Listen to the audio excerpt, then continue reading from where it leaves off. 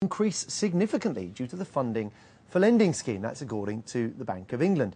According to Nationwide, the price of the average home Uh, in the UK stood at £162,000 in December, down 1% on the year before, down 12% there or thereabouts on the peak that we saw back in October 2007. Much, of course, depends where you live. Property values in Cambridge, according once again to the Nationwide, saw the biggest rises in 2012. The biggest falls were experienced in Bradford and in Manchester. Joining me now, the economist and wealth manager, Jonathan Davis, a man who has been predicting a huge downturn in the market, Jonathan, and this is fair to say, for some time. Now, it's no question you're right to a degree. House prices have clearly fallen since the financial crisis began back in 2007. Not, though, I think it's also fair to say, on the scale that you were predicting. Why do you think that has been? For two reasons. Um, one, uh, the then government bailed out the banks in 2009 and borrowed from our children to do so. And secondly, I think the most important thing that they did, along with the Bank of England, was slash the interest rate from 5% to 0.5%. Now, what that did, of course, both of them together, made a massive boost to the southeast property market. You bail out the banks, you bail out the southeast. However, there's two points worth making. Firstly, if you live in Northern Ireland, this is a national broadcaster after all, you live in Northern Ireland, you'll have seen house prices fall 53%, 5-3. If you live in Scotland, Wales, the north, you'll have seen house prices fall 20 to 30%. So it's actually only the southeast, the, the banking belt, which has held up.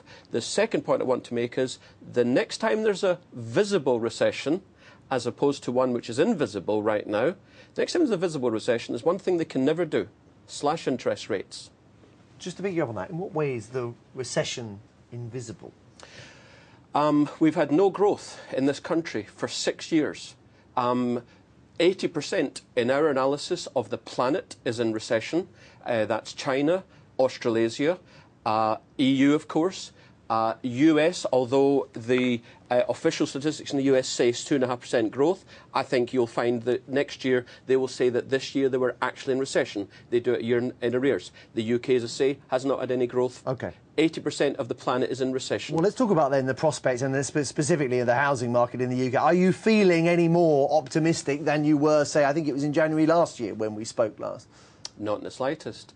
Um, as I say, um, we, we are boost, we, we're, we're pumping 100 billion pounds a year um, into the economy through quantitative easing. We've got the lowest interest rates in history and possibly the lowest interest rates ever. Aggregate income is falling. Uh, although employment is not falling, underemployment is rising dramatically. In that, in that case, in other words, lots of people who were on full time are now on part time or self employed from their bedroom. No, the economy is dire, the amount of debt is dire, and house prices are still going to collapse so in the southeast. If a client comes to you and says, Should I buy a house? What would you say to them? If it's for investment, no, I wouldn't touch it with a barge pole um, if it's for their own home. Um, if it's in uh, Northern Ireland, it's probably not a bad idea financially because prices have gone down 53%. If it's in the southeast, I think they'd be financially mad if they were going to take on a big debt in order to do so.